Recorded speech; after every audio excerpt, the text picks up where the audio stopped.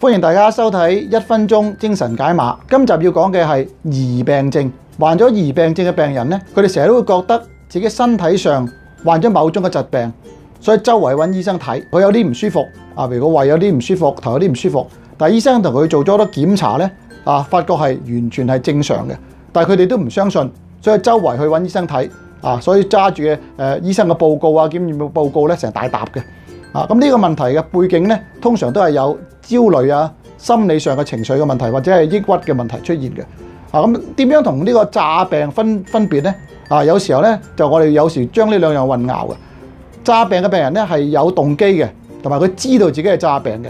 而疑病症嘅病人咧喺潛意識裏邊啊出咗個問題，係相當唔同嘅。如果你中意呢條片嘅話，記得俾個 like 我哋，同埋訂閱我哋嘅 channel 啊！下次見。